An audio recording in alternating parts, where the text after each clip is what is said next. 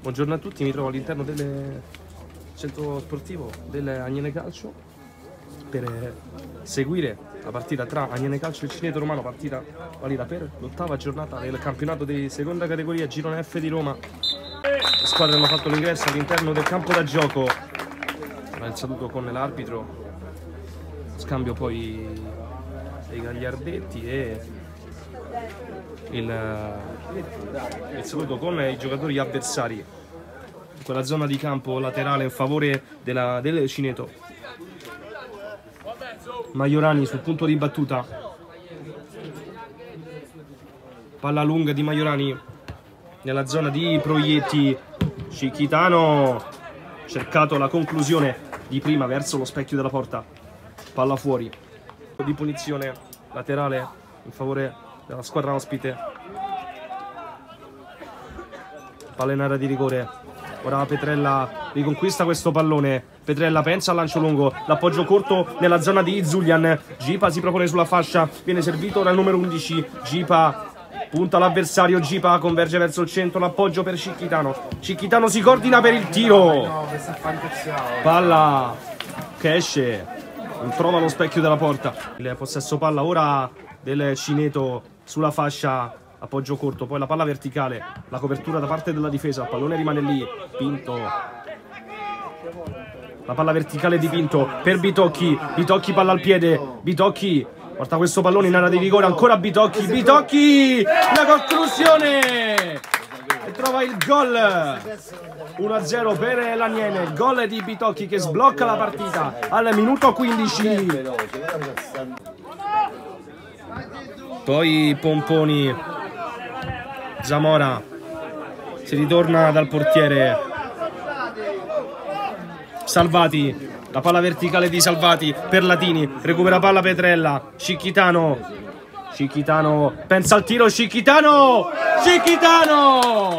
Ma che gol ha fatto il numero 6 gol da parte di Cicchitano doppio vantaggio per l'Aniene 2 a 0 la copertura da parte della difesa, poi Scicchitano. Scicchitano ha cercato la conclusione verso lo specchio della porta. Palla esce fuori. Gipa. Gol da parte di Gipa. Clamoroso il gol da parte del numero 11. Gol del 3 a 0. Il possesso palla da parte dell'Agnene. La palla verticale. Zulian il gol da parte di Zulian colpisce la traversa segna il gol del 4-0 di avanzare palla al piede la copertura della difesa. Il possesso palla da parte di Pomponi cade a terra il numero 4 fallo e fischio punizione in favore del Cineto. La palla verticale c'è un po' di campo per avanzare. L'appoggio corto per Proietti. La palla verticale. La conclusione verso la porta. Il gol da parte della squadra ospite. Gol del 4 a 1. Non viene servito. Zemora, numero 3, cambia il fronte di gioco. Possesso palla Cineto. La palla sulla fascia. La copertura da parte di Orfei. Orfei. Latini riconquista questo pallone. Latini in area di rigore. L'appoggio corto per Pomponi. Pomponi sbaglia il controllo, poi l'appoggio al capitano, la conclusione da parte di Proietti.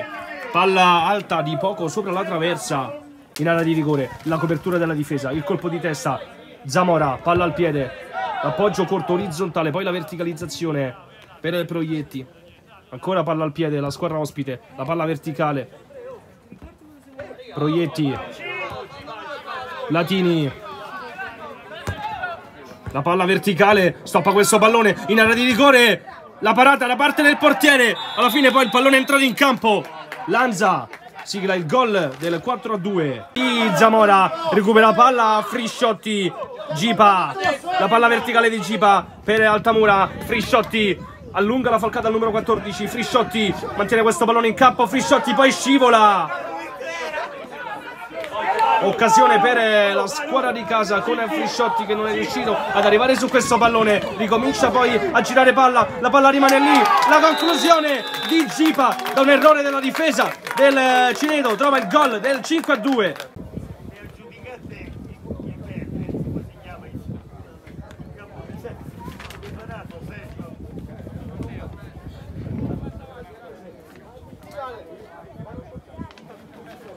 Altamura sul punto di battuta, anche Scicchitano. Chi la tocca? Parte. Altamura! Altamura! Il gol di Altamura. Gol del 6 a 2.